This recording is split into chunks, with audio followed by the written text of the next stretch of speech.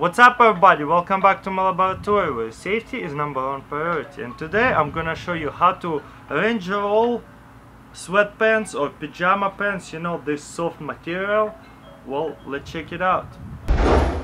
Alright, I got my girlfriend's sweatpants because I did not bring any with me so I'm gonna borrow hers.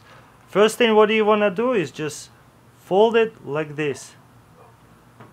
Make sure the strings out Then what you want to do is turn it over. Make sure it's all straight and nicely like that.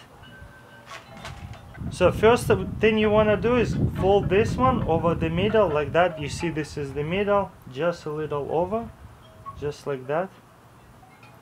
And fold this one over here a little bit. And now this one over the other one and fold on this side just a little bit right here. Now what I'm gonna do is start rolling it from this side and make sure to keep it tight.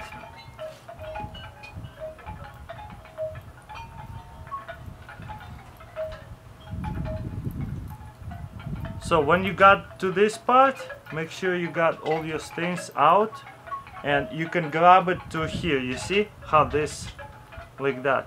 And then what you wanna do is put this over the, the pants. Just like that.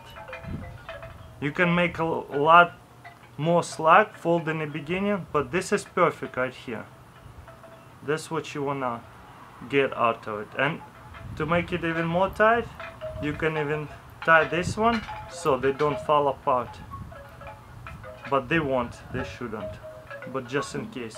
And you got this small roll and they're not gonna get wrinkled or anything and it's gonna take up very small space or a lot less than any other folds if you wanna unfold it just boom and it's ready to go